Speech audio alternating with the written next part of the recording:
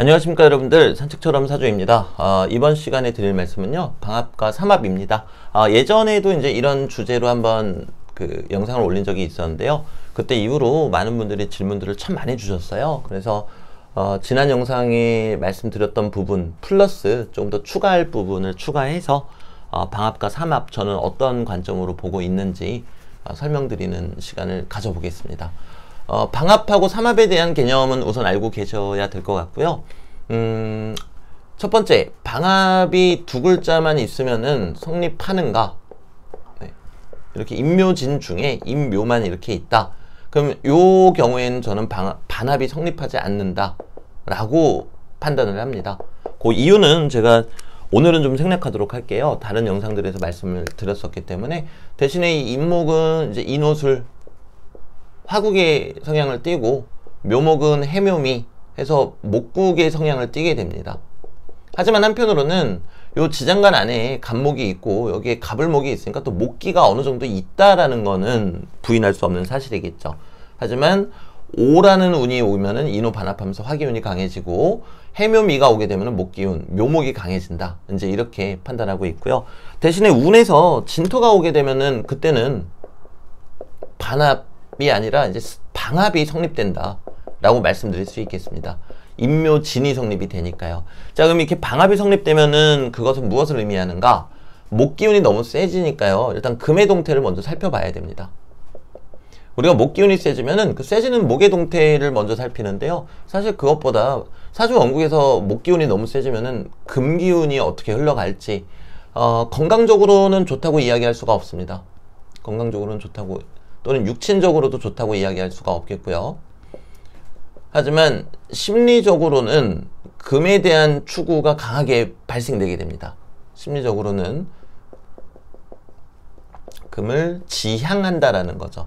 즉 금을 지향한다는 게 무슨 뜻입니까? 라고 물으신다면은 십성적으로 지향할 수도 있고요. 만약에 금이 정인이다. 그럼 공부하겠다. 이렇게 지향할 수도 있고요.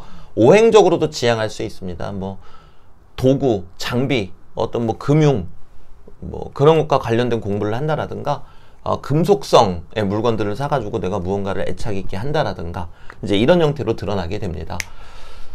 자 그리고요 그럼 사주 원국에 방합이 성립되어 있는 경우에는 어떻게 해석합니까? 라는 질문들이 참 많이 있었어요. 그리고 이제 임묘진이 순서대로 안 써져 있는 경우에는 또 어떻습니까? 이렇게 말씀들을 많이 주셨는데요.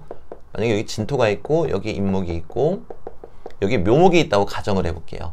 이 경우에도 방합이 성립이 됩니다. 이 경우에도 방합이 성립이 되는 거고요.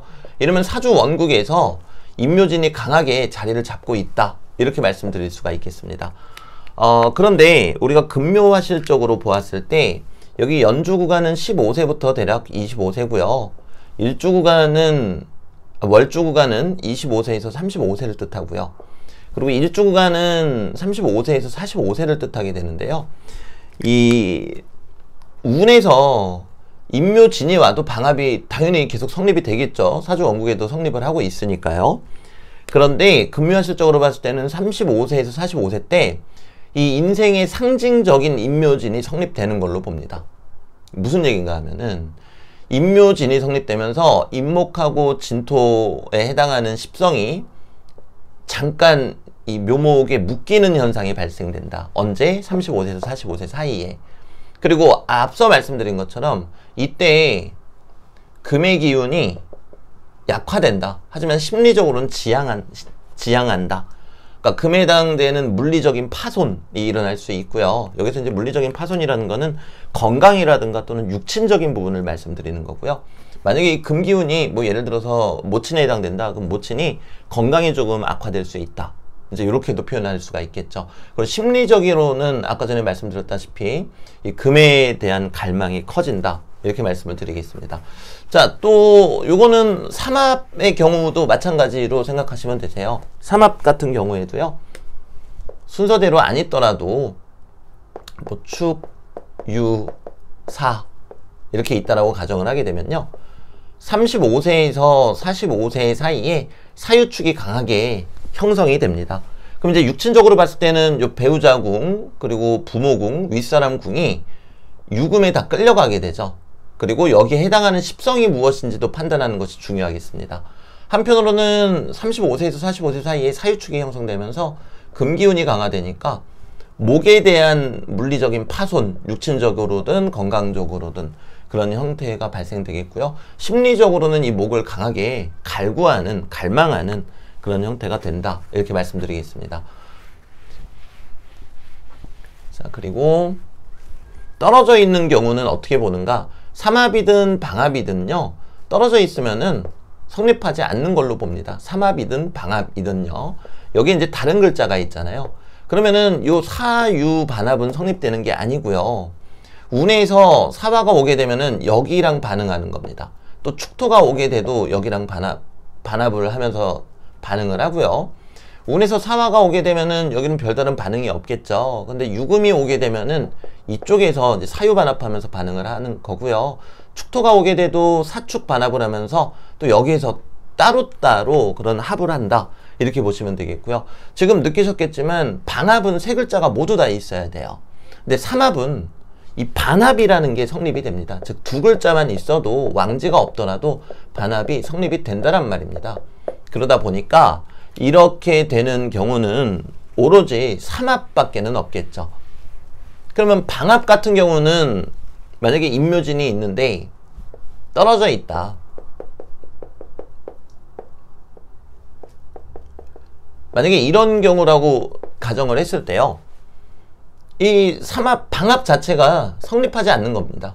방합이 성립되지 않는 겁니다. 방합이 성립되지가 않고요.